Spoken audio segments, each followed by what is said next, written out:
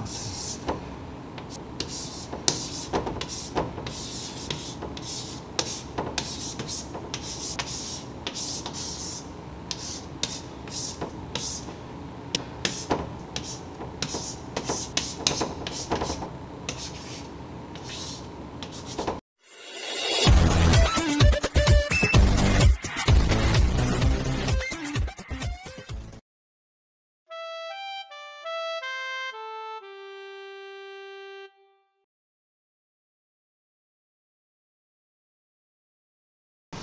안녕하세요 양선수입니다. 오늘은 3분 훈트 마지막 시간입니다. 복근에 대해서 준비를 했는데 배에 문제 있는 회원님들을 위해서 준비를 했고요. 준비물은 이 매트 하나만 있으면 됩니다. 매트 없어도 그냥 이불 위에서 하셔도 상관없고요. 그냥 맨몸하고 매트만 있으면 되고요. 굉장히 간단합니다. 일단은 제가 서서 시범을 조금 보여드려야 되는데 복근 운동을 하실 때는 제가 한 가지만 명심하라고 그동안 말씀을 드렸었는데 뭐냐면 바로 이완하는 문제입니다. 이완을 하실 때 무턱대고 배를 많이 늘린다고 엉덩이가 이렇게 뒤쪽으로 빠지고 허리가 꺾이는 데까지 이완을 하시면 복근 쪽에서 그 즉시 힘이 빠지면서 허리로 버티는 운동이 된다라고 말씀을 드렸죠. 그래서 무조건 많이 이렇게 배를 벌리는 게 아니라 허리가 꺾이지 않는 지점까지만 내가 등을 벽에 기대고 있다면 이 허리가 벽에서 떨어지지 않는 지점까지만 벌리시면 완전히 이완이 된 거라고 제가 말씀을 드렸습니다. 이 점을 꼭 명심을 하시고 제가 시범을 보여드릴 건데 지금 시범을 보여드리는 이 운동은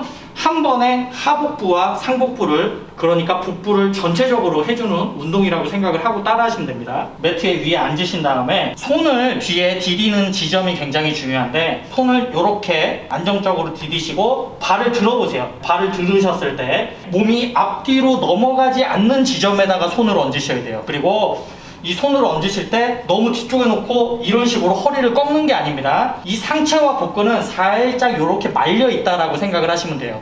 운동을 하는 내내 몸이 이렇게 되는 게 아니라 살짝 이런 식으로 유지를 하셔야 됩니다. 이완을 하실 때도 마찬가지예요. 그리고 안정된 곳, 앞뒤로 균형을 잘 잡을 수 있는 곳에 손을 대시고 그대로 다리를 듭니다. 든 상태에서 무릎을 완전히 피지 않으셔도 돼요. 살짝 편하게 굽혀 놓으신 상태에서 발을 위로 드실 겁니다. 얼굴 있는 데까지 들려고 노력을 하시고 드시면 돼요. 드실 수 있는 데까지 들면서 다리만 드는 게 아니라 이 상체가 살짝 마중 나간다라고 생각을 하시면 돼요. 그러면 다리를 들므로써 하복부가 되고요. 상체가 살짝 마중 나가면서 상복부까지 자극이 들어갑니다. 보여드릴게요.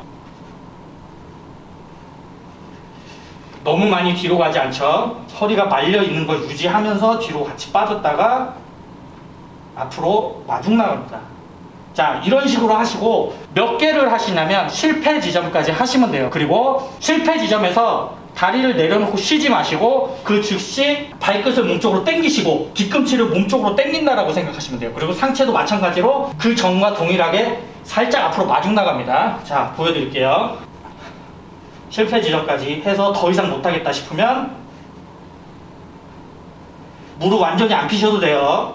뒤꿈치를 당겨줍니다. 발끝을 몸쪽으로 당겨놓고 이건 역시 두 번째 운동 역시도 실패 지점까지 하십니다. 자, 이 두 개가 묶여서 실패 지점까지 다리를 뻗고 하고 무릎을 당기는 동작을 실패 지점까지 하시고 이게 한 세트입니다. 그리고 30초를 쉽니다. 그리고 바로 2세트에 들어가는 거예요.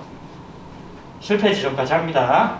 들이쉬고 내쉬고 들이쉬고 내쉬고 자 실패 지점까지 했다고 가정하고 들이쉬고 내쉬고 들이쉬고 내쉬고 들이쉬고 내쉬고 자 역시 실패 지점까지 하시고 30초를 쉽니다. 그렇게 해서 5세트를 하시는 거예요. 그렇게 해서 3분 만에 끝내시면 됩니다. 제가 지금까지 알려드린 이 복근 운동을 해보시면 알겠지만 상복부부터 하복부까지 한 방에 운동이 강하게 되는 걸 느끼실 거고 우리 회원님들께서 운동을 복근 운동을 하실 때 이 운동을 하시는 것을 강력하게 추천을 드립니다. 굉장히 간단하고 굉장히 자극이 좋을 겁니다 그리고 제일 중요한 거 이 상체가 뒤쪽으로 꺾이거나 말이 들리면 안 됩니다.